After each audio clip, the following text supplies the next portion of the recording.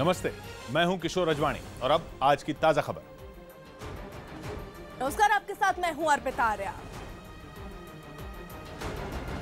Israel में अपने यात्रा के दूसरे दिन प्रधानमंत्री नरेंद्र मोदी ने भारतीय समुदाय को तीन बड़ी सौगातें दी हैं। पीएम मोदी ने दिल्ली, मुंबई और तेल अवीव के बीच सीधी विमान सेवा शुरू करने का ऐलान किया है। इतना ही नहीं, प्रधानमंत्री ने इसराइल में भारतीय सांस्कृतिक केंद्र खोलने और इसराइल में बसे भारतीय मूल के लोगों के लिए ओसीआई कार्ड के नियमों में राहत देने का भी ऐलान किया है। इस मौके पर पीएम मोदी ने इसराइल में बसे भारतीयों के सामने बदलते भारत की तस्वीर भी रखी है और अपने स्वागत के लिए शुक्रिया भी किया।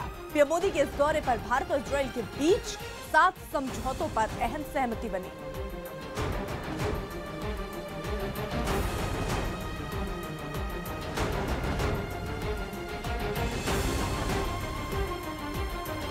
सत्तर वर्षों में पहली बार किसी भारतीय प्रधानमंत्री का आना ये अपने आप में एक खुशी का भी अवसर है और कुछ सवाल या निशान भी है।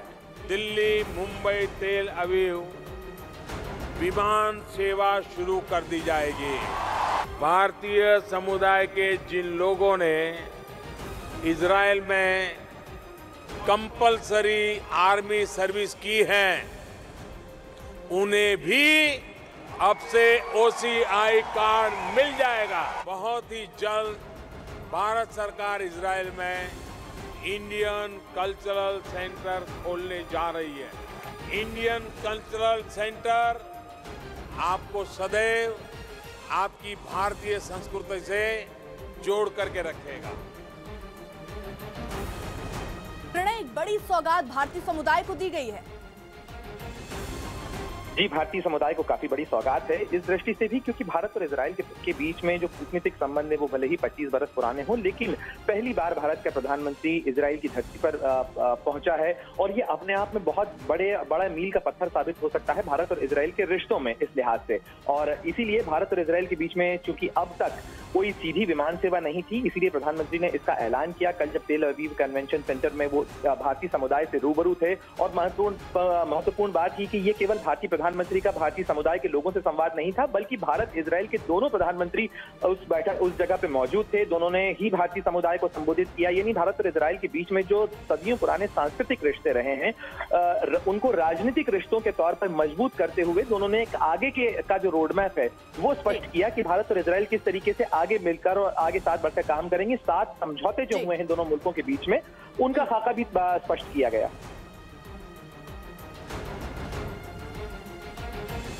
इसराइल के राष्ट्रपति प्रधानमंत्री नरेंद्र मोदी बड़े बड़े से हॉल में लोगों से हाथ मिलाते और परिचय लेते दिखे। पीएम मोदी ने दौरे के दूसरे दिन इसराइल के राष्ट्रपति से मुलाकात की, जहाँ दोनों नेताओं ने एक दूसरे की दिल खोलकर तारीफ़ की। इससे पहले इसराइल के राष्ट्रपति और पीएम मोदी एक साथ बड़े से हॉल में दाखिल हुए, जहाँ कई लोग पहले से मौजूद थे। हॉल में आते ही इसराइल के राष्ट्रपति ने भारतीय प्रतिनिधियों से मुलाकात करनी शुरू की तो वहीं प्रधानमंत्री मोदी ने इसराइल के अधिकारियों से परिचय लिया। इस दौरान राष्ट्रपति रूबेन रिवलिन ने एक महिला अधिकारी का परिचय पीएम मोदी से कराया। सबसे मिलने के बाद दोनों नेता अपनी अपनी सीट पर बैठे। जिसके बाद दोनों नेताओं के बीच बातचीत का सिलसिला शुरू हुआ। इसराइल के राष्ट्रपति ने पीएम मोदी की तारीफ़ की और भारत को सच्चा दोस्त करार दिया। साथ ही रिवलिन ने पीएम मोदी के मेक इन इंडिया मिशन की तारीफ़ करते हुए प्रधानमंत्री नेतन्याहू की तरह ही मेक विद इंडिया की बात की।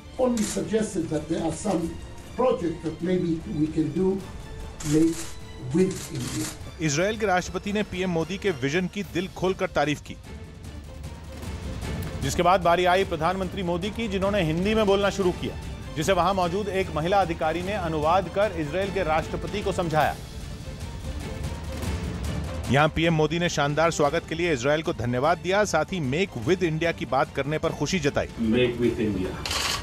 और मैं कल ये अनुभव कर रहा हूँ कि कईयों के मुँह से मैं आपका ये शब्द सुन रहा हूँ। पीएम मोदी ने इसराइल का मतलब भी अपने अंदाज में बताया। इंडिया का आई इसराइल का I. I for I I with I. Israel के राष्ट्रपति प्रोटोकॉल तोड़कर पीएम मोदी को सड़क तक लेने आए जिसे लेकर भी पीएम ने उन्हें धन्यवाद दिया।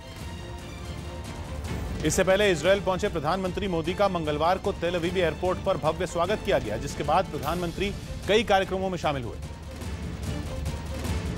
जिसके बाद इसराइल के प्रधानमंत्री बेंजामिन नेतन्याहू और पीएम मोदी ने संयुक्त बयान दिया और दोनों देशों के रिश्तों की मजबूती पर ज़ोर दिया oppose the evils of terrorism, radicalism, and violence. Our ties have seen rapid growth. वहीं इसराइल के प्रधानमंत्री ने बेहद हल्के फुल्के अंदाज में पीएम मोदी के योग के प्रति समर्पण की तारीफ़ की।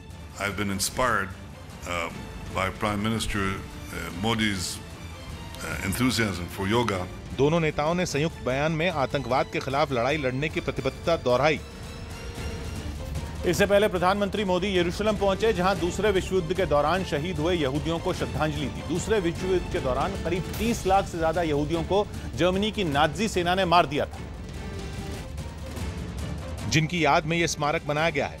गोल आकार में बने स्मारक में शहीद हुए यहूदियों की तस्वीरें भी लगी हैं। जिसके नीचे खुले फर्श के बीच में एक ज्योति जलाई गई है जो हमेशा जलती रहती है। पीएम मोदी जब यहाँ पहुँचे तो उन्हें पहले स्मारक के बारे में जानकारी दी गई। इसराइल के प्रधानमंत्री ने खुद पीएम मोदी को स्मारक की दीवारों पर बने निशान दिखाए और उनके बारे में बताया, जिसके बाद शहीदों की याद में प्रार्थना का आयोजन हुआ। यहाँ पीली और काली ड्रेस पहने लड़कियों के एक ग्रुप ने प्रार्थना गाई।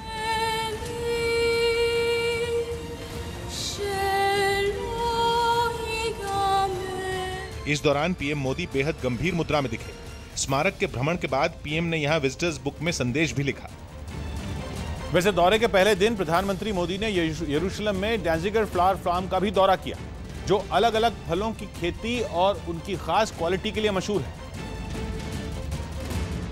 यहाँ पीएम मोदी को फार्म की सैर कराई गई जिसके बाद इसराइल की सरकार ने प्रधानमंत्री के सम्मान में गुल दाऊदी के फूल को मोदी का नाम दिया। बदले में प्रधानमंत्री ने भी बेनियामिन नेतन्याहू को तीन तरह के तोहफे दिए। इनमें केरल से लाई गई कॉपर प्लेट थी। जिनमें कोच्चि के यहूदियों के इतिहास का ज़िक्र है। पीएम ने तोरा स्क्रोल भी भेंट किया। हाथ से लिखे इस स्क्रोल को केरल के यहूदी समुदाय ने दान दिया है। साथ ही दक्षिण भारत में सजावट के लिए इस्तेमाल होने वाला मुकुट भी उपहार में दिया।